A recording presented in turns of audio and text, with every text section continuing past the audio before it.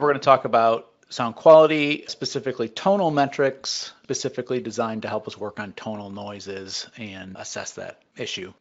So for our agenda, we'll take a really brief review of kind of what is sound quality and what are these metrics, and we'll review some of the, I think, critical aspects of human hearing as far as acoustics goes. They'll play a part in sort of how these metrics are working and what they're going to be able to do for us. And then we'll talk the rest of the time about these tonal metrics, and there are really only three popular ones, I should say tone to noise ratio, prominence ratio, and then tonality. And this will be the psychoacoustic tonality that was new in 2018 2019 timeframe. So with that, let's jump in. So humans and sound. So what is sound quality? If you're brand new to the field of acoustics or noise and vibration, maybe have a vague idea what sound quality is, but essentially we like to use this sort of flow chart up here in the upper left where we're making measurements of our vehicle or of our machine, then feeding those measurements either into some subjective analysis, which would be people listening, or we can do objective analysis on those measurements, metric calculation. That's what we're going to be talking about today. And sort of the interplay between these two hopefully lead us to an increase in sound quality. So psychoacoustics is really what we're dealing with in sound quality and it's, it's the study or the science of how sounds essentially make you feel. What kind of reaction do you have to a certain sound?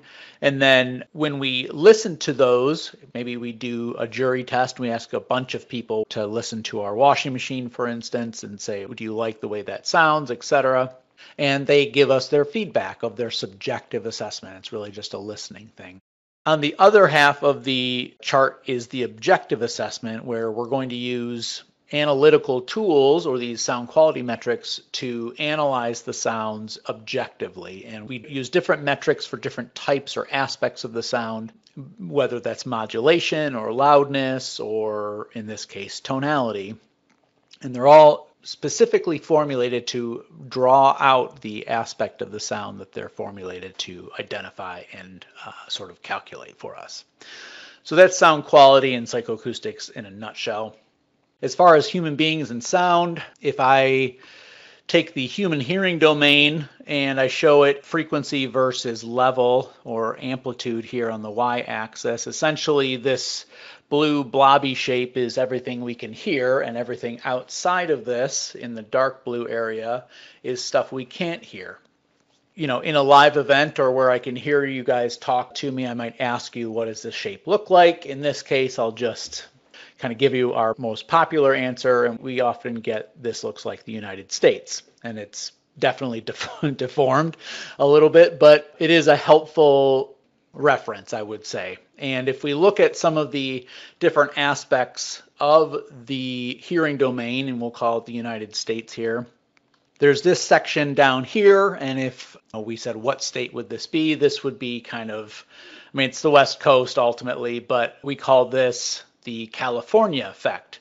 And if you look at the shape of this red highlighted portion, the fact that I, as I march further and further west along the coastline, in order to stay on land and not fall into the ocean, I have to keep increasing the amplitude or the volume of the sound to stay in the hearing domain. And that tells us that we don't hear very well in low frequency. So anything below really 500 or 1000 hertz our hearing ability, we get less and less sensitive as you get lower and lower frequency.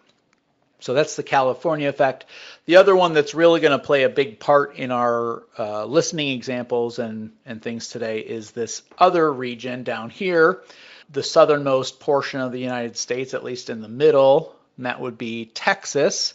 And so you have this portion here, and if we said there's a Texas effect, what would that be? Well, the fact that this dips down down here, I can hear a lower amplitude noise in this frequency range than anywhere else.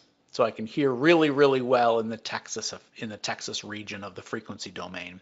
So we are really, really sensitive to sounds between roughly 1,000 hertz and say 6,000 hertz. Our ear hears better there than anywhere else in the frequency range of 20 to 20 kilohertz uh, that we can hear. So the Texas effect is going to play a part in these metrics because of that ability to hear really well at those frequencies. So summing up some really high level acoustic summary things that are good to level set everyone on. Human hearing is not linear, either in amplitude or uh, frequency. So in amplitude, we often talk about the decibel or how many dB of sound pressure is that.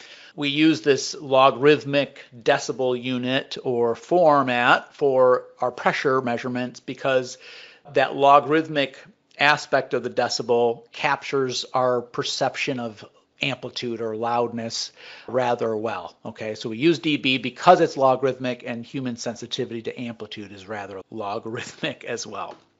In terms of the frequency spectrum, we also don't hear sort of on the narrow band frequency. Our brain sort of hears in chunks of frequency, and that is what we use the one third octave bands for. So these one third octave bands, you see I have a logarithmic frequency axis along the x-axis here, and then I see these orange bands. This is the one third octave band, and if you have a graphic equalizer, these are usually the center frequencies that you have on that graphic equalizer because these are sort of the buckets of or groups of sound frequencies that we hear in our brain doesn't really hear individual discrete frequencies very well. The critical band or bark band is sort of a more highly refined version of this, but the principle is exactly the same. There are groups of frequencies that our brain hears sound in, and that's what we use the logarithmic one third octave band or bark bands for. And as we just saw with the California and the Texas effect, humans do not hear all frequencies equally well. So this is what we use a weighting for. Microphone is made to measure all frequencies equally well, but we a weight that microphone measurement to more closely represent how a human being would perceive that sound. So with all of that out of the way, let's talk about these tonal noise metrics. And what do I mean by tonal noise? Well, it's noise characterized by distinct audible peaks at discrete frequencies. Okay, so I see this sort of general noise level here in this frequency spectrum, but then I see these really thin lines peeking up out of that background or broadband noise, and these are tones. These are one or two or maybe three spectral lines that poke up out of the background and will be heard as a discrete sort of whistle, if you want to think of it that way. And that's what we mean by total noise. It's the opposite of broadband noise, where if you're familiar with white noise, that's equal level at all frequencies across the frequency band. This is sort of the opposite of that. All the energy is sort of concentrated in one spectral line. This tonal aspect, for whatever reason, is really uh, perceivable to our brain. So even if the noise level in a crowd is 80 dB or something, we can hear a tone or a whistle that may be 10 or 15 dB below that overall level because of the single frequency characteristic of that sound. The tonal noise sticks out to us much more than broadband noises do. Okay, so our brain is really good at hearing hearing these. And as a result, that can make them more annoying or less pleasing to listen to. And if, as I show you some of these examples, I think you'll, you'll agree these are all irritating things to listen to for long periods of time. So if you've ever heard a turbo or a supercharger on a big heavy duty pickup truck or something, it's a really high pitched whistle that you can hear very, very clearly. Uh, gear whine, gears meshing together, that, that load being trans transferred from one gear to another, those teeth are flexing, and as they mesh and unmesh, that flexing actually causes a, a very tonal noise which is an, another reason you hear it in electric motors. So if you've ever been in an electric vehicle, there's a lot of electric motors, there's a lot of power electronics going on, and these are all very good tonal noise generators. And so typically, those are the types of noises we have to worry about until the vehicle gets up to speed, and then we're dealing with the same old road noise and wind noise and things like that. And then our old friend, the mosquito, um, is a very tonal noise and certainly irritating to listen to. Um, and the tonality is realistically only a part of why that's annoying, but it's certainly a part of it. And so we'll take a look at that with some of these tone to noise metrics. Okay, so tone to noise ratio, let's deal with this guy first. First, I kind of want to pull apart or separate these first two, the tone to noise ratio and the prominence ratio, sort of by themselves because these two guys are sort of sister metrics, if you want to think of it that way. They're very similar. They're both aimed at doing the same thing, and that is just to help you determine tone or a peak you see in your frequency spectrum, helping you know whether or not that will be audible to a person listening to the frequency spectrum you're looking at um, given the level of and frequency content of the background noise. Okay. And there are two schools of people who use metrics like this those who don't want any tones to be heard above the background, and then um, some of the examples that I show on the screen here people that really want your attention no matter what, right? You have a fire alarm, you have a check engine light, the emergency broadcast system. These are all highly tonal noises typically for the very reason that they are very quickly observed or perceived and want to make sure that our fire alarm is effective in getting your attention. And so we want to make sure it's going to be above the possible background noise that might be uh, in your environment. But their whole purpose in life is to help you decide whether or not it will be perceivable to the average listener Given that sort of preamble there, it's an important thing about working on tonal noises is you have to consider the realistic background noise. Okay, if I'm working on propeller noise in this case, I could certainly measure the spin this propeller up in this nice anechoic chamber, and I might measure this frequency spectrum, and I see a, a really prominent tone and maybe some of the the harmonics of that in my lab, and I think, oh man, I've got a big tonal problem, but realistically, I th- have to think about where this propeller is going to be used, right? It's going to be used and observed when it's in flight on an aircraft or a helicopter or something. And so I have to compare the level of the tone to the background noise while it's in use. So this situation, given the other background noise of the wind buffeting off the body of the airplane and everything else that's going on during flight, this tone may not be such a problem. I don't even see this harmonic anymore. And so when we're measuring or assessing these tones, we need to do it in an appropriate environment, which includes the background noise that will be present when our, our customer or our listener is going to be hearing it. This first one, tone to noise ratio, this and prominence ratio, and actually the psychoacoustic tonality are all described in this ECMA 74 noise standard. It's a standard that you can view and publish and read at night to help yourself fall asleep. But this standard describes the calculation both for tone to noise, prominence ratio, as well as the psychoacoustic tonality. And essentially, what tone to noise ratio is doing is it's looking at the level of the tone and comparing that to the noise level or the background noise in that same critical band. Okay, so there's there's that word critical band. This is a chunk of frequencies centered around the tone that are in the same sort of bucket that our ear would hear. And so for tone to noise, I'm looking at the amplitude of the tone. We're calling that T. And then I'm looking at the amplitude of the masking noise or all the other spectral lines in here with the exception of this. We pull the tone out and then we add up all the levels of these individual frequency lines in the same critical band. We call that level M. And the difference between those two is the tone to noise ratio. And so if my tone sticks out enough above that, or if there's very little masking, other noise masking around that critical band, and this is very low, it's very, very likely that I'll be able to perceive that tone given everything else that's going on. And the standard will look at the threshold values, and these will be averages over a bunch of different human subjects. Everyone's a little bit different. But essentially, if it crosses some threshold, which we'll discuss in a minute, we'll call this tone prominent, and it will be able to be heard as a pure tone in the rest of the noise spectrum. That threshold is a function of frequency, which I'll show you in just a minute. The thing about the tone to noise level uh, or tone to noise ratio is if the tone is, let's say, 9 dB above the critical band in this case, and just for an example, the tone to noise ratio will always be reported as 9 dB. So it doesn't matter if that's the tone is 59 decibels and the background noise is 50 decibels, or if it's 159 for the tone and 150 for the background. That tone to noise ratio will always be reported in those two cases as 9 dB. As we'll see further down the road, that may not be in our best interest to call those two scenarios equal in terms of prominence of that tone. Okay.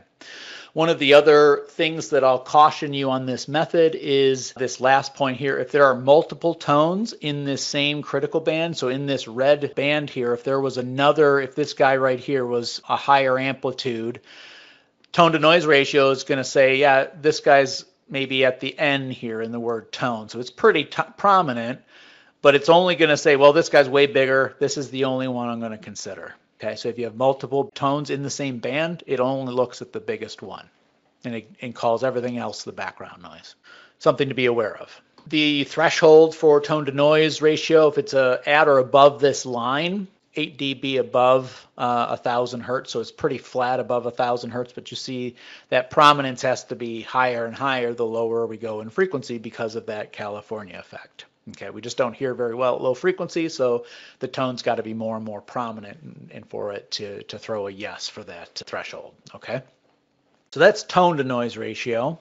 Its sister is prominence ratio. It's very similar. It's also described by ECMA 74. And in, here, instead of it being a tone to band comparison, it is a band to band comparison. So prominence ratio says I find a tone, I look at the level of that critical band that is centered around that tone, and I compare it to the average of its two neighboring masking bands. We'll call those A and C. The difference between these is the prominence ratio, but it's really the average of A and C. In this case, I've shown on purpose A and C being the same, so their average would be equal to either A or C, and the difference between B, the band that contains the tone, and those masking bands A and C, that is the prominence ratio.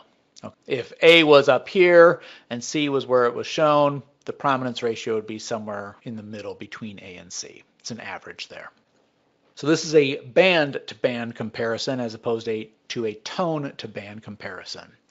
One of the really nice things about this is this last point, so I'll jump ahead a little bit, but if there are multiple tones in this same critical band, so again, if I take this guy and say he's really up here, that that's all in the same sort of green critical band here and so all that's going to happen is this level is going to go up and these two red masking bands would stay the same and so if I've got multiple closely spaced tones all that does is make this band more prominent given the level of background noise which is probably what I'm going to want because I've got more things going on in that critical band than just the biggest one. Very similar to tone to noise. Again, B is 59 and the average of A and C is 50. The prominence ratio will again be reported as 9 dB. If I turn that volume of everything way up and the level of B is 159 and the average of A and C is 150, the prominence ratio is still 9 dB. So the same exact thing we saw with tone to noise ratio. For prominence ratio, it's very similar. The threshold for prominence is 9 dB at 1000 hertz and above, and you see a similar sort of increasing level as the frequency drops. These are the threshold levels where essentially the prominence ratio or the tone to noise ratio will tell you yes, it's a problem or no, it's not. If you're a fan of our community, or if, even if you're not, you're not even sure what it is, this is a web site you can look at, and uh, we have an article specifically about these two metrics, so you can go read more about it, see some examples, etc. Feel free to go check that out. Uh, one of the nice things about prominence ratio and tone to noise ratio is they work in active picture. So if you are not familiar, an active picture is a test lab picture that I can put here in my PowerPoint and I can double click on it and it'll essentially activate that picture. And now I can I can do things like zoom in on this. I could, but it's essentially a test lab plot or picture here in PowerPoint. So I could I could make this plot. I could change this amplitude here. Um, if I wanted to, I don't want, really want to do that. I can A weight it. I can do all kinds of stuff. And essentially, I could send this PowerPoint to my boss or someone who doesn't have a license of test lab. And as long as they have a little add in from our website, they can open up this plot and do all this same stuff. Okay, so all the information of the test lab display is built in here, including this sort of spectral analysis processing cursor that we can put in here. And so you see this is our good friend Vacuum A. If you're aware of, been around for any length of time uh, for our acoustic seminars, you've heard this vacuum cleaner. And we know it's got tonal problems, and we can kind of tell by looking at the spectrum here that it's got tonal problems. But if I put this cursor on here and I go over to one of these peaks, you notice prominence ratio doesn't even show up here, okay? And that's because this critical band out here at 16,300 hertz. So these bands are getting pretty darn wide. And you see I have a pretty high level here, uh, more lower in frequency than these guys, but it's saying that the band that this tone's in just doesn't have enough prominence to even register as a prominent problem. Tone to noise will calculate it for you because it's just looking at that single line, right?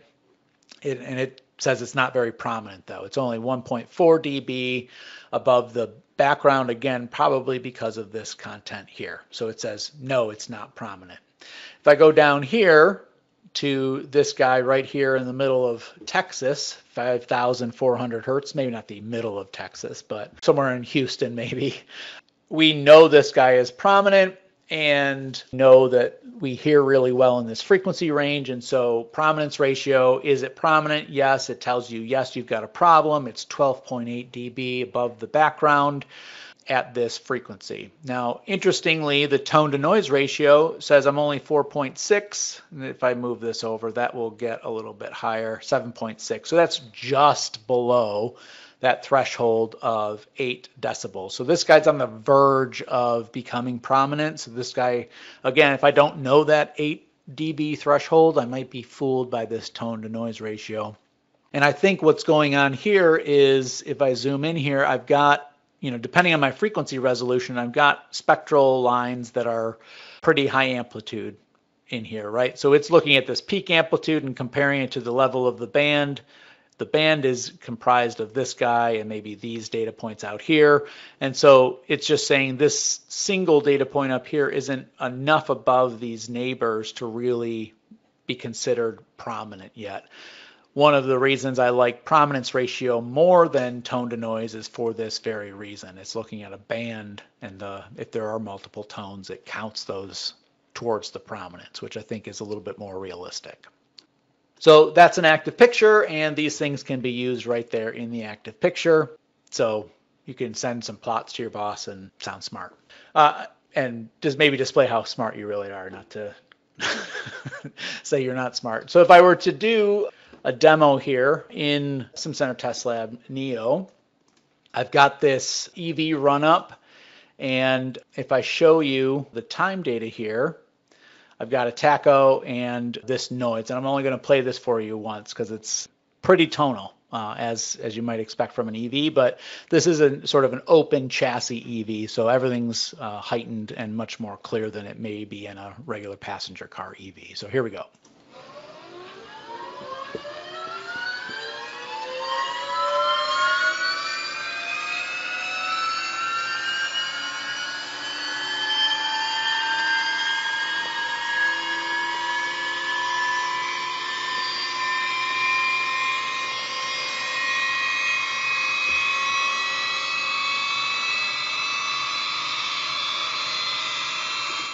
Okay, I think that's enough of that. That doesn't get any better uh, as the RPM creeps up to the top there. But so obviously we have a bunch of tones in there, right? So if I show you the process that I use to analyze this, this is that process over here. So essentially I put the tachometer and that gearbox microphone in the input basket.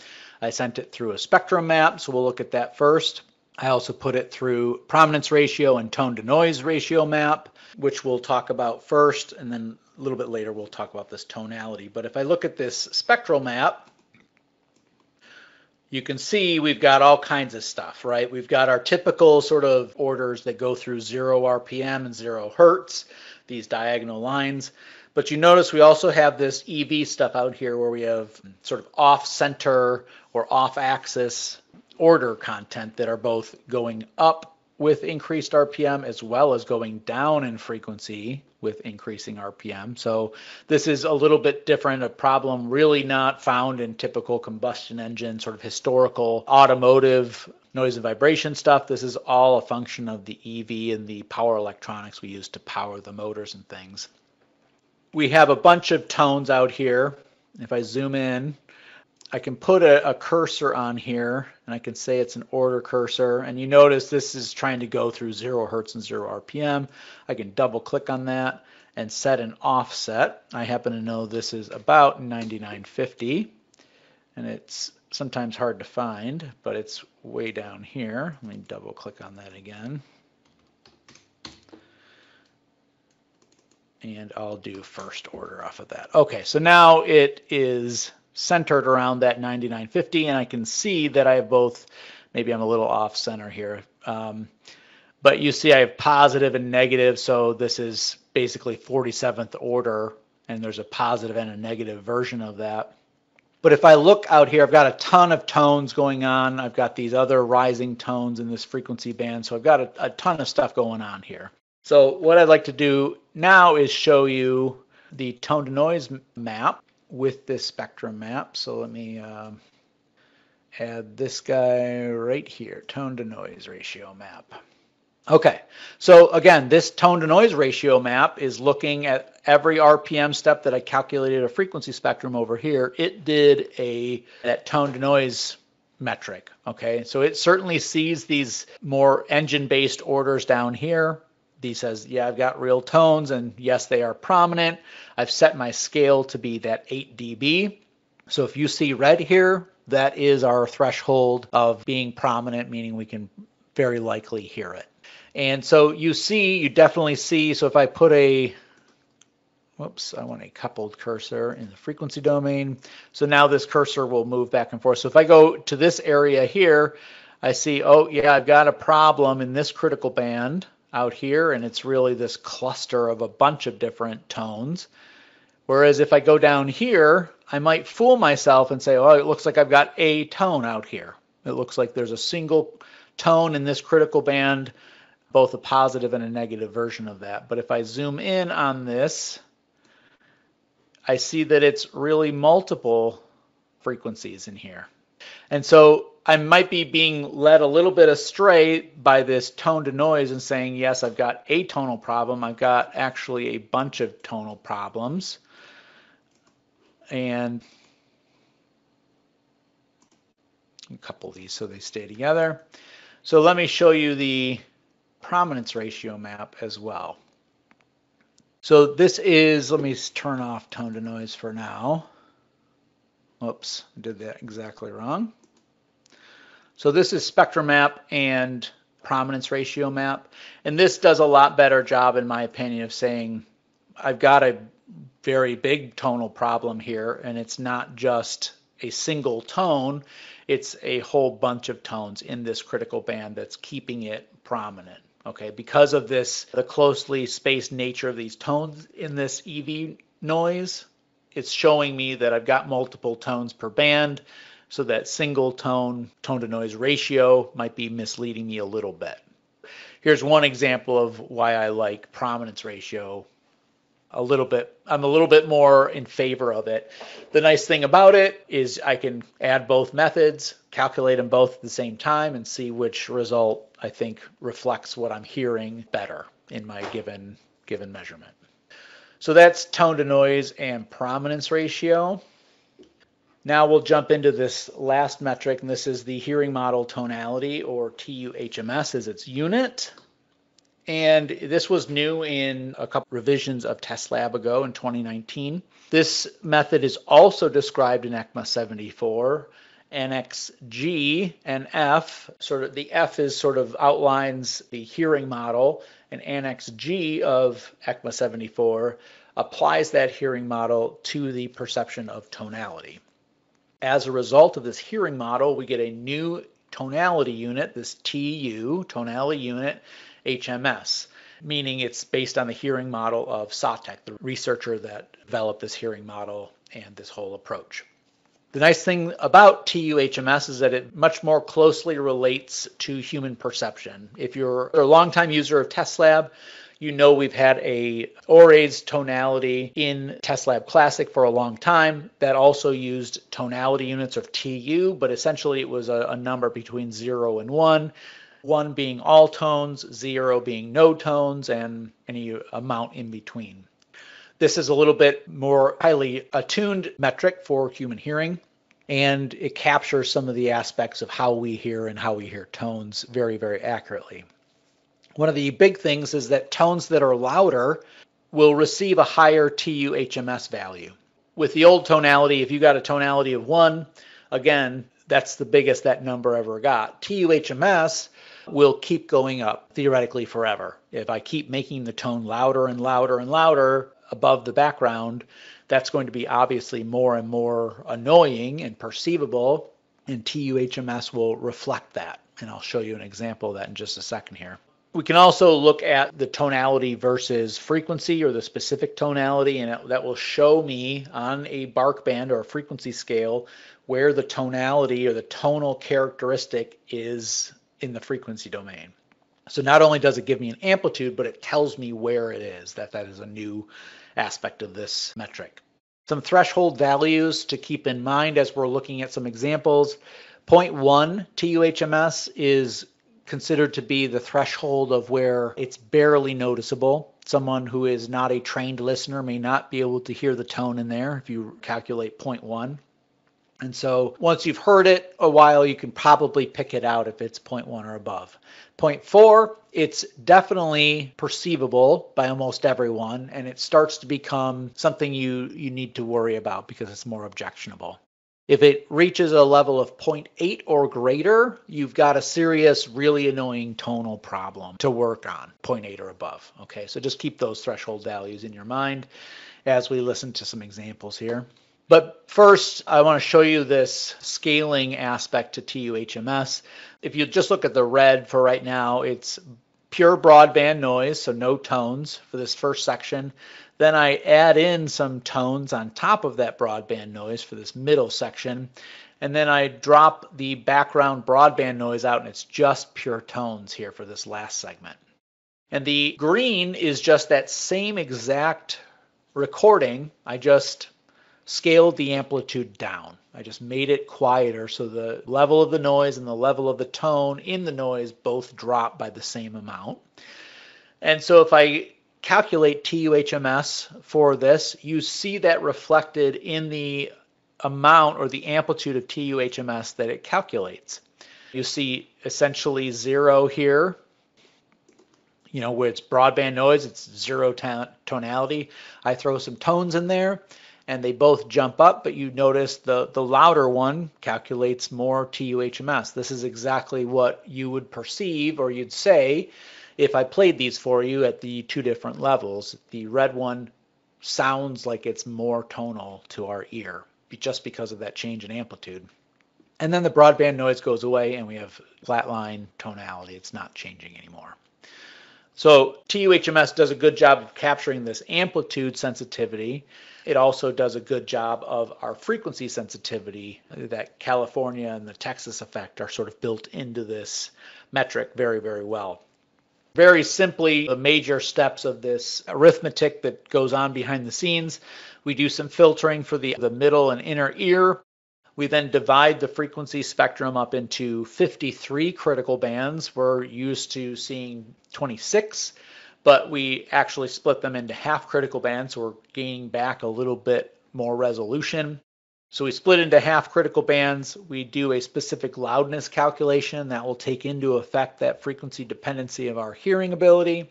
And then we separate the tones from the background noise, and then we compare the specific loudnesses of those two components. That's everything that's going on, and then it spits out a TUHMS value for us. So I'll show you this in the software again. Certainly, I can. Show, I'll show you this for this EV. So this is a tonality map. So now it's frequency along the x-axis here, RPM again on the y-axis, and tonality shown in the color scale. And you look at this and you're like, no, that's not bad. There's like really only one little tonal problem. And if we hadn't heard this vehicle already, you might fool yourself into believing this, like, oh, I see a lot of cool blue, I don't have a problem. But then I come over here and I look at the amplitude, and red is 23 tonality units HMS. Our threshold for a serious problem is 0.8, remember? So if I change this to be, I'll even go up to 1, we see more of what we perceived when we listened to this, right? It's nothing but tone problems all over the place. And so this guy does a really good job, not just of the individual bands to its neighboring bands, but it highlights all of this other stuff down here that we can hear even better than prominence ratio did.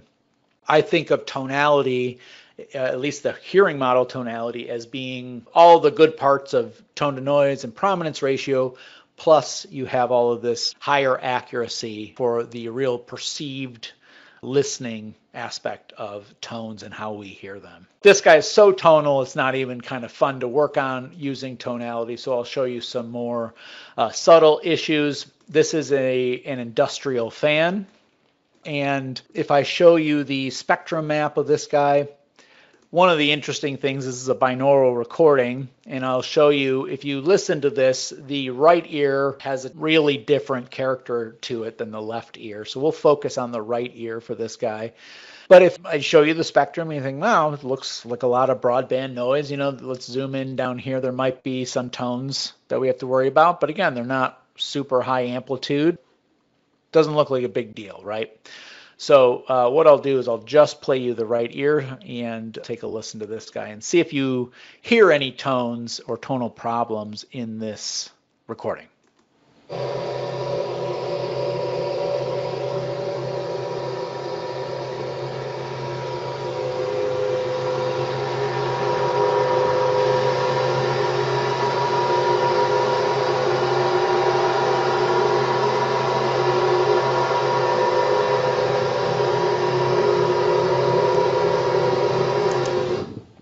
Okay, so depending on how well that comes across and what kind of speakers maybe or headphones you're listening to, I can definitely hear some tones in there. But again, the frequency spectrum's not really helping me too much. So I'll look at this tonality map here. And it definitely shows that I've got some problems. So I again, I have my scale at zero to one. So anything red is a definite problem. And so I see some tonal issues down here. If I throw a cursor on here looks like it's about a thousand hertz, right? Really the beginning of the Texas effect. We hear pretty darn well at a thousand hertz. And so I've got this thing going on. I've got something else maybe at 500 hertz. And so what else I can do is I can show tonality versus time. So I'll actually show left and right here, ear, and you see the left ear is in red and the green is the right ear. And you see this sort of modulating tonality. So I'll play this one more time for you and watch this green trace. And this is tonality units versus time. And you see it's peaking up here right around two tonality units. So pretty, pretty tonal, pretty irritating tonality. And see if this kind of matches your perception here.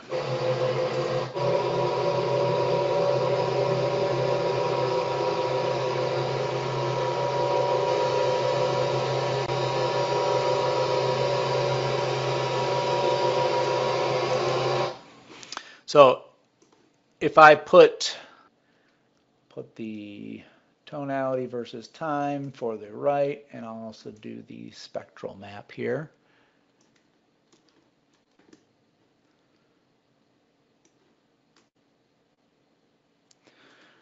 And then I'm going to turn on some audio replay filters here. This will allow me to filter out some frequencies while we're going here. Now let's just make this 2000 for right now.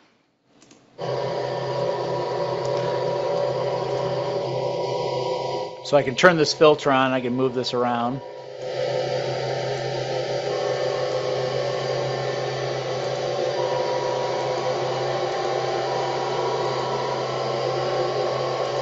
So hopefully you can hear that tone coming and going that really sort of corresponds to this high tonality and it's this 1000 hertz frequency band. I'll start it over one more time here.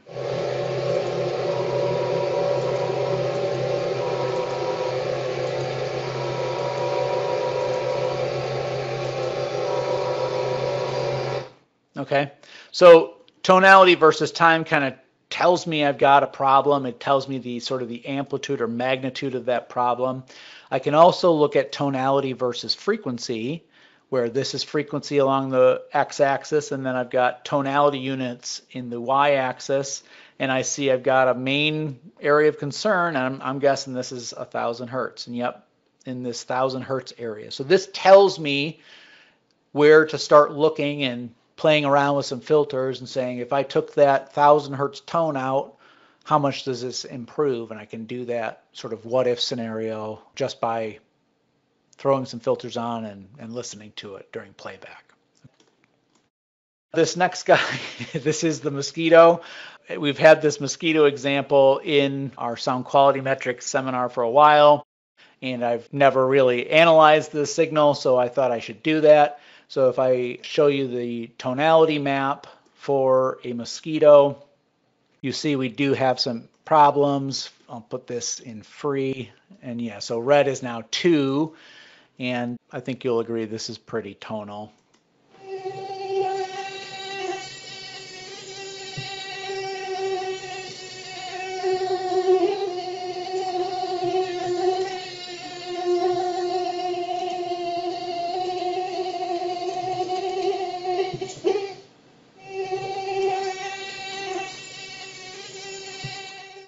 So this is a live spectrum. Obviously, I've paused it here, but you see uh, a bunch of harmonics of this fundamental frequency. So there's a ton of tonal energy in the mosquito noise, and we perceive this, and it sticks out. And prominence ratio would probably tell us we have a lot of prominent tones here, and I think that matches our our perception pretty well.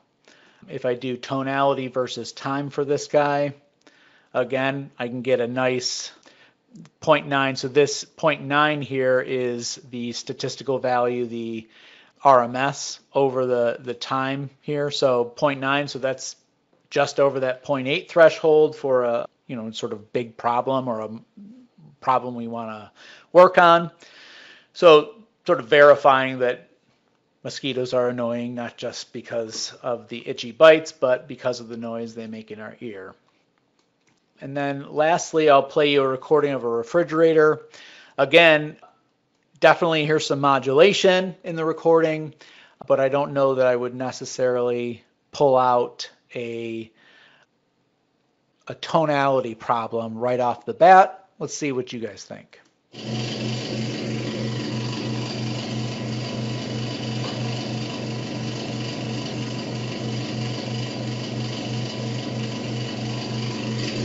The more you listen to it, again, it's dominated in my mind by the sort of the the modulated you know aspect to it. But if I look at tonality versus time, I definitely see that modulation part in there, but it's definitely telling me I've got tonal issues in there right around that 0.4, 0.5 threshold where it's going to be perceivable by everyone, whether or not it's dominant enough to be annoying. That I guess it's a matter a little bit more of subjective opinion for this guy.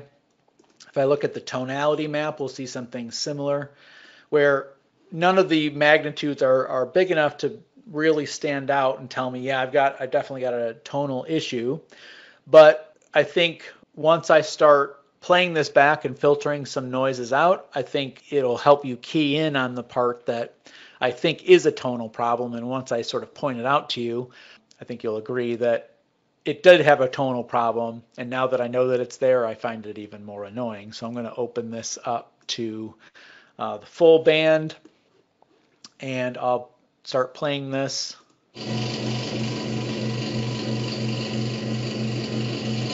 This is my cursor down here, or my filter.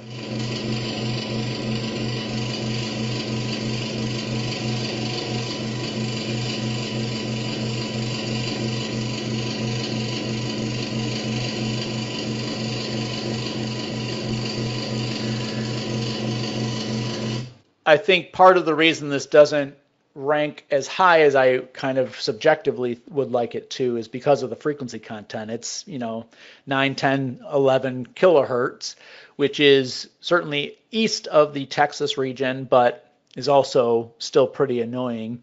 And uh, but once I filter it out and I listen to it with and without that sort of tone coming and going, I think that's what's really driving this aspect of the tone. And if I look at tonality versus frequency, I see this is, there's definitely some combustion orders down here that are also tones, but you see that it's got a bunch of tonal energy concentrated out here in this high frequency range. And that's really what I key in on as being the most annoying. I'll try filtering out some of these other guys here. So do this guy uh, tonality map.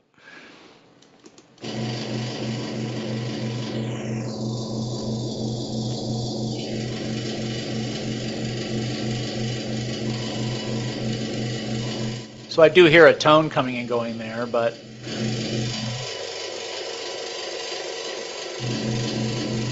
that low low tone doesn't doesn't bother me nearly as much as this sort of chirping high frequency guy out here. Even the tonality map isn't necessarily telling me exactly where to look. I can look at tonality versus frequency and that helps me understand you know the relative amplitude of the tonal components here. Tonality versus time might help me see that yep it does have this really fast acting coming and going which it's almost like a chirp that comes and goes over and over. And that, that's what I find particularly annoying about that recording. That's a little bit about tonality and the tonal metrics. If I were to show you just for for fun, prominence ratio map, tone to noise ratio map. Again, tone to noise, it's not a single tone in there. It's more of like narrow broadband that has a tonal quality. And so tonal tone to noise doesn't do a good job of pulling this out at all prominence ratio, I think, does a really good job because it's a critical band comparison to its neighboring bands. Something like this noise per in particular can stick out a lot more with prominence ratio. All of these things that I've been showing you, I calculated using this process here. Did a spectrum map just to take a look at the regular sound pressure stuff, and then I did tonality map, prominence ratio map, and tone to noise ratio map. From the tonality map, I can pull tonality versus time, tonality versus frequency, and then this tonality frequency, which is kind of showing me as a function of time, where is the tonal energy concentrated. You can see it's jumping around back and forth between that high frequency end and that low frequency kind of sort of combustion tone that we see at the very bottom of the, the frequency spectrum. Those are sort of the tonal metrics that you'll find in TestLab Neo. That brings us to the end of the webinar. My email and peer, if you have any questions about these metrics or anything else, please feel free to reach out. I'd be happy to help if I can. Feel free to rewatch and review anytime you like.